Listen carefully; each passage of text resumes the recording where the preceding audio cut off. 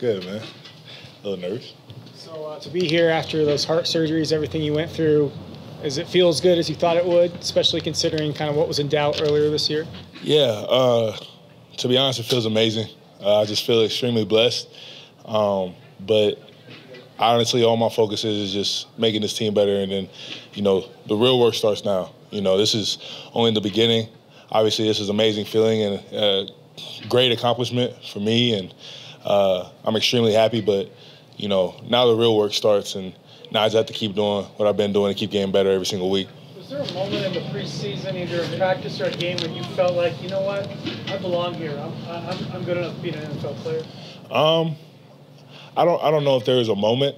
Uh, I would like to say I never like lost confidence in myself. Um, I always believed in myself and felt like that I got drafted for a reason and I was given this opportunity for a reason. Um, but I wouldn't say there was no singular moment where I was like, okay, I belong here. I just feel like just me being out there with the guys, you know, I just made sure I never took a, a snap or a second out here for granted and uh, hope that it would all pay out. Focusing the offseason, how, when you came to training camp, how did you make sure you didn't push or try to do too much? Uh, the coaches here did a great job with all every, every, everything with that. Uh, they made sure. I'm sorry, my guy uh, made the team too. That's what you should be. Who should be up here right now? Uh, but uh, Coach Landow got me right. Made sure I was running. Made sure I was in shape. Um, they they really did a great job of just pacing myself because honestly, when I first got here, I was like, I'm I'm ready to go. I want to go full 100 110 percent. You know, I missed so much time. You know, I need to make it up, and they all just told me just you know keep going. Uh, work hard, but just pace yourself because I mean you did just come out of surgery and stuff. So uh, that's what I did, and now I feel great. I feel better than ever. You, uh, I think your best year at Ohio State had three and a half sacks. You've already had a few here in the preseason. What's translated for you better at the NFL level than it did there? Maybe where's your game improved? Um, I wouldn't say. Um, I feel like at Ohio State it was just just different. You know, uh, obviously I'm playing a whole new position here.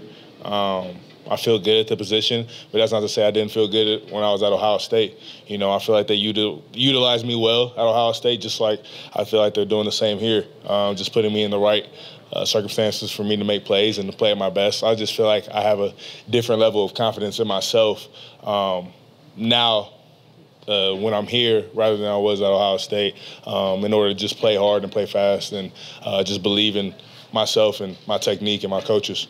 You mentioned Andre. What do you think he did to impress coaches as an undrafted guy to make the team? He goes hard, man. Goes hard. He's strong, physical, and he's on his playbook. You know, he's the one calling out all the plays, uh, studying, make sure he's in the playbook, not missing a call. Um, and he plays hard, and he's a good player, talented player.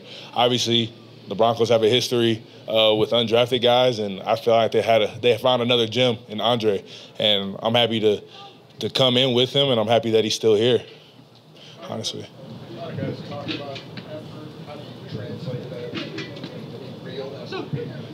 Uh, I, I feel like it was instilled in me at a young age. I just always go hard at anything I do. I think my mom taught me that when I was young. Just whatever I do, you know, put your best foot forward.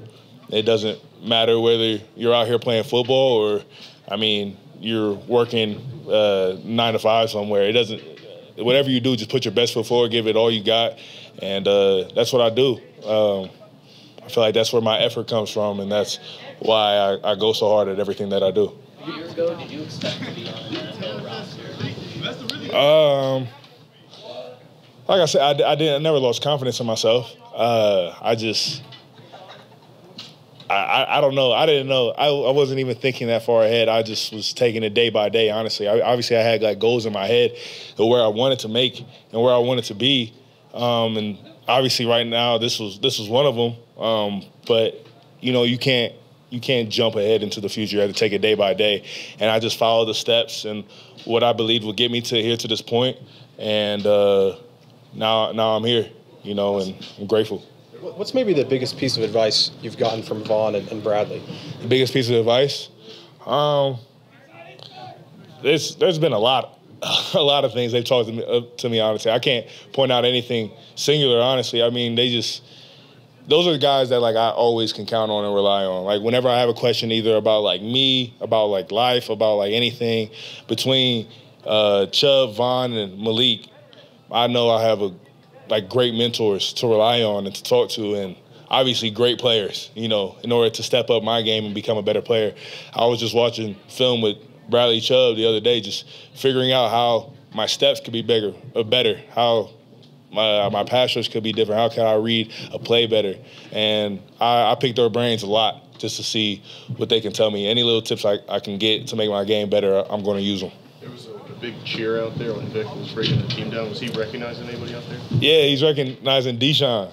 Uh, Deshaun made the team, man, and it's been a long journey for him.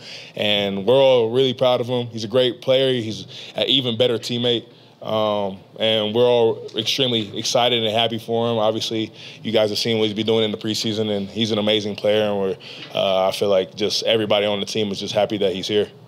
It seems like every time we talk to Von Miller, he praises you and uh, Baron and Ohio State. Yeah. What does it mean as a rookie to get that kind of recognition from a great player? Yeah, uh, it's crazy, honestly. I mean, I grew up watching Von Miller, you know, and obviously he's one of the greatest to ever, ever put on some cleats. And uh, for him to, you know, talk good about me, uh, for him to say good things about me, and for me to even be his teammate and to learn from him, uh, it's a blessing, you know. And I don't take it for granted. You know, I want to make sure that every single resource and everything that he's learned in the game, I want to make sure that I can take that and apply it to myself so I can become even better.